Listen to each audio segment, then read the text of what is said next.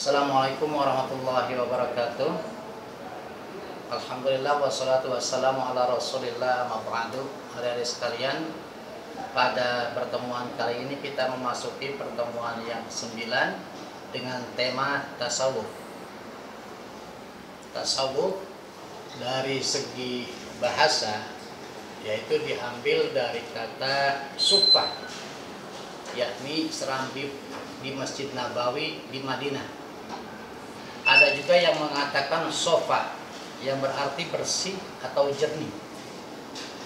Ada juga yang mengambil dari kata supana, sebutan nama kayu yang bertahan tumbuh di padang pasir. Ada juga yang mengatakan diambil dari kata suf, bulu domba. Disebabkan orang kaum sufi biasa menggunakan pakaian dari bulu domba yang kasar sebagai lambang akan kerendahan hati mereka juga menghindari sikap sombong dan meninggalkan usaha-usaha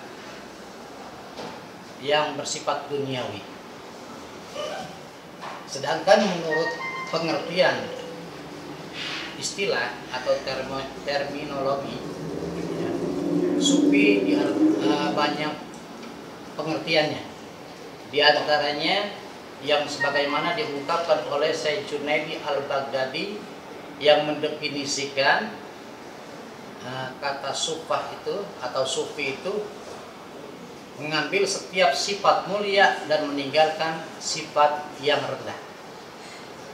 Nah, Syekh Abu Hasan Asadili mengartikan praktek dan latihan ini melalui cinta yang dalam dan ibadah untuk mengembalikan diri ke jalan Tuhan. Sahal Astusturi mengartikan tasawuf orang yang hatinya jernih dari kotoran, penuh pemikiran, terputus dengan hubungan manusia dan memandang antara emas dan kerikil. Itu sama. Dan masih banyak lagi uh, beberapa istilah tasawuf menurut para ahli. Namun bisa disimpulkan di sini bahwa tasawuf adalah suatu sistem latihan dengan kesungguhan, riyadhah dan mujahadah untuk membersihkan, mempertinggi dan memperdalam kerohanian dalam rangka mendekatkan atau takarub kepada Allah Subhanahu wa taala sehingga dengan itu maka segala konsentrasi seseorang hanya tertuju kepadanya. Dalil-dalil tasawuf yang diambil dari kata dari Al-Quran surat Al-Baqarah ayat 115 Walillahil masyriku wal maghribu fainama tuwallu fatama wajhullah innallaha wasi'un alim. Dan semua kepunyaan Allah timur dan barat. Maka ke mana pun kamu menghadap di situlah ada wajah Allah. Sesungguhnya Allah maha luas rahmatnya lagi maha mengetahui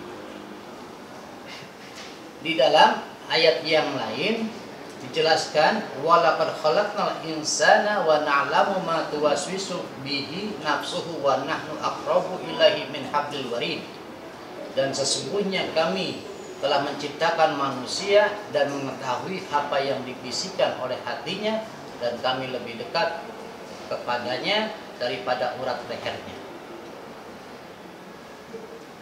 Dari dalil hadis yaitu pernah pada suatu saat hadis ini panjang jadi saya ambil ceritanya saja. Ada seseorang datang dengan pakaian bersih tidak tampak bekas perjalanan jauh. Pada saat itu baginda Rasul sedang duduk bersama jamaah. Lalu kemudian orang yang datang itu orang asing yang datang itu bertanya kepada baginda Rasul menanyakan tiga hal Hal yang pertama ditanyakan tentang iman. Lalu baginda Rasul mengatakan iman itu antus hada Allah ilaha wa anna Muhammad Rasulullah. Iman itu adalah antuk mina billahi wa malaikatihi wa kutubihi wa rusulihi wa bil yaumil akhir wa bil qadari khairi wa syarhi min Allah. Iman itu adalah percaya kepada Allah, percaya adanya malaikat, kitab-kitab Allah, rasul-rasul Allah, juga hari kiamat. serta qada dan qadar Allah.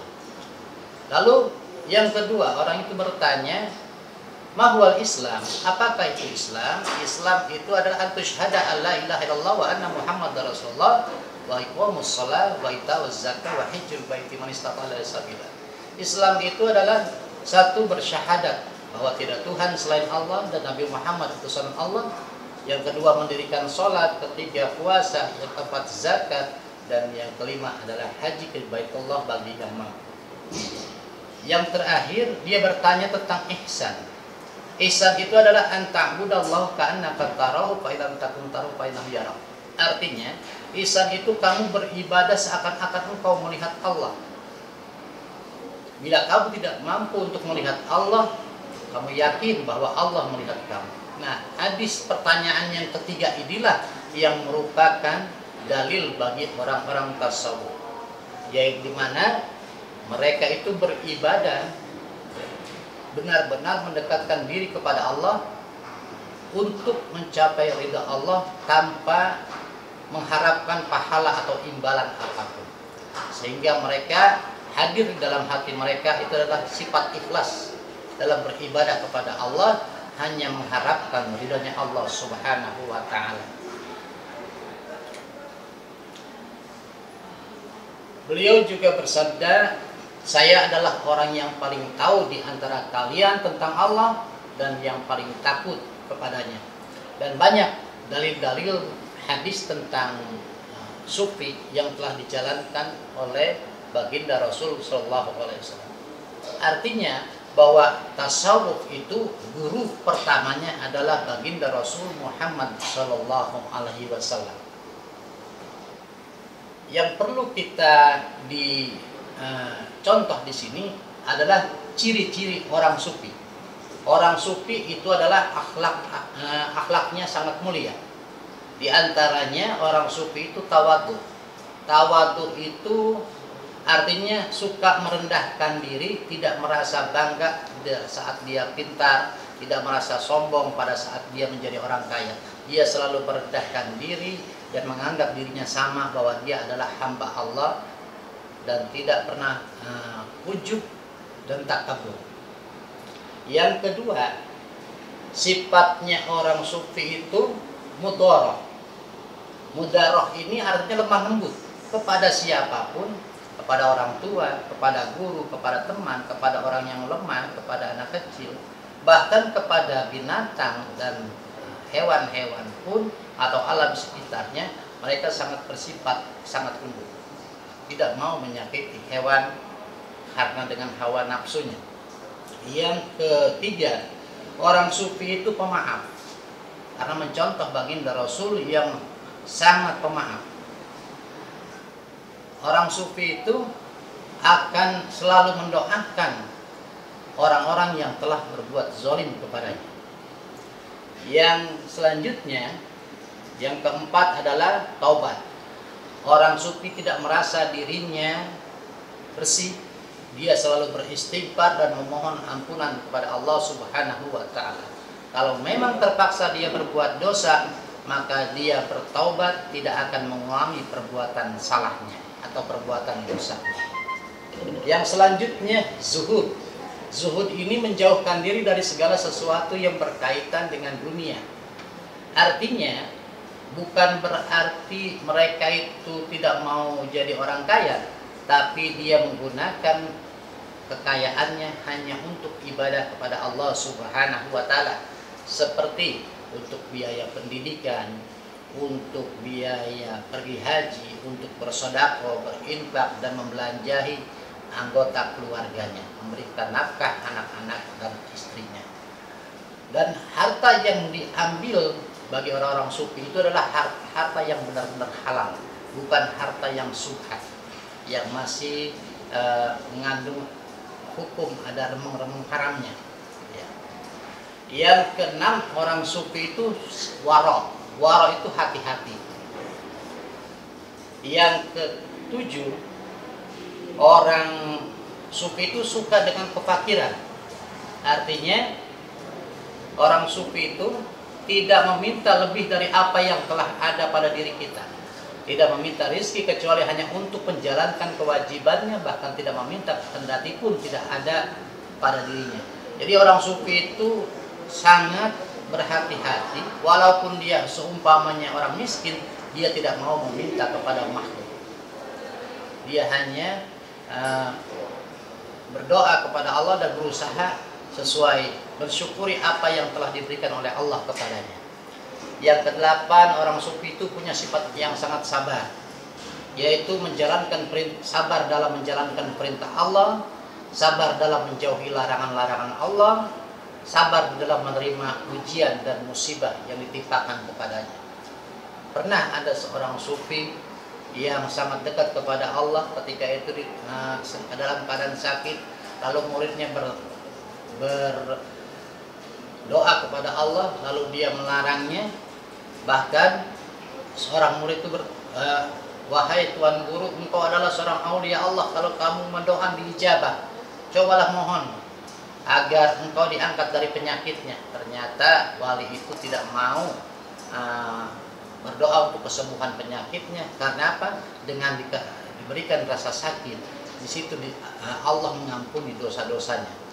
Artinya bahwa sakit yang diberikan oleh Allah bagi orang sufi itu adalah sebagai kiparat atau ampunan dosa. Yang selanjutnya tawakal. Tawakal yaitu berserah diri kepada Allah. Sifat tawakal kaum sufi menerima pemberian Allah dengan rasa syukur, baik besar maupun kecil. Kalau tidak dapat apa-apa, bersikap sabar dan menyerah kepada kodok dan kepada Allah. Yang ke-10 adalah kerelaan atau ridha. Rela di sini tidak menentang terhadap qada dan qadar Allah, dia merasa puas dengan segala sesuatu yang diputuskan oleh Allah, apakah itu sebuah kebaikan yang menurut manusia pada umumnya seperti rizki yang banyak, istilahnya terbebas daripada bencana dan bahaya.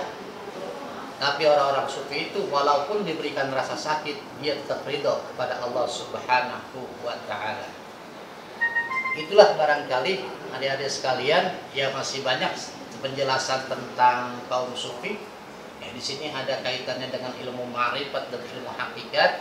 Namun kalau dijelaskan melalui video ini tidak akan cukup waktunya. Lalu eh, selanjutnya silahkan pelajari slide yang telah disajikan. Mudah-mudahan penjelasan saya ini dapat menambah wawasan anda di dalam beragama dan juga kita dapat mengamalkan serta mencontoh pak tokoh-tokoh sufi dengan akhlaknya yang mulia. Itu saja yang dapat saya sampaikan. Terima kasih atas segala perhatian. Wallahul ila aqwam thoriq. Wassalamualaikum warahmatullahi wabarakatuh.